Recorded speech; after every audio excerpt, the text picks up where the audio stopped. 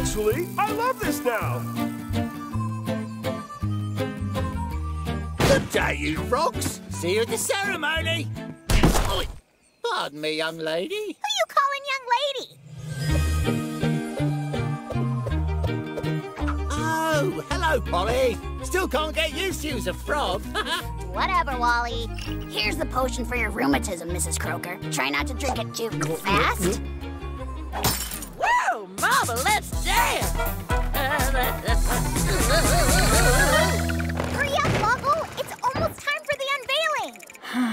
I never should have taken that cheat day.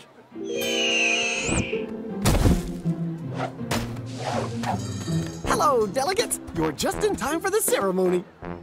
Toadie, you won the election?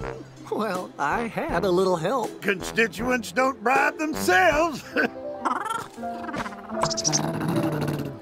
You know, I wouldn't mind settling down in a quiet swamp like this. It's slow, the people are friendly. And it's far away from the countless enemies I made when I was General Yunan, Scourge of the Sand Wars, defeater of Ragnar the Wretched.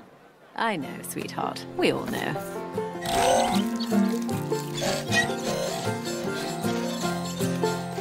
Sup, HP? Where's Sprig? It's ceremony time. In his usual spot.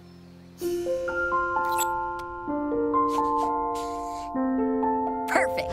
Sprig, come on. It's time for the unveiling ceremony. Finally! Can't wait to see how it turned out.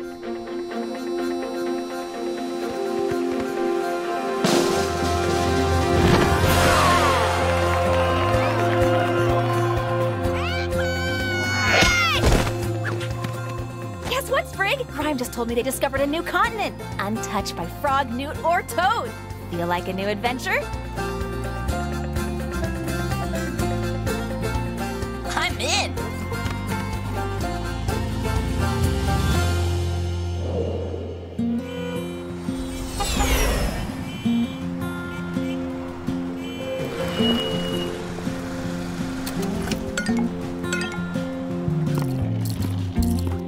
Today marks the 10 year anniversary of the event we've come to know as Frogvasion. But the real question remains was it all a hoax? Sasha! Mars! I'm okay. Gosh, it's been a minute. How was the flight? Pretty good. Can you believe it's been 10 years? Crazy, right? So what have you been up to? Still doing that webcomic? I read a few chapters. It's awesome. Ciao. Thanks. Uh, it's doing pretty well on mine. And how about you? Psych degree coming in handy? Yep. I really like working with the kids, helping them overcome their emotional baggage. I have a lot of experience. Hey! Nice signal, buddy! So, did you and Anne hang out much after I moved? At first, yeah, but we kind of fell into different friend groups in high school. We still talked, but only every once in a while. Never mind that, though. Have you heard what Anne's doing these days? Yes, and I love it.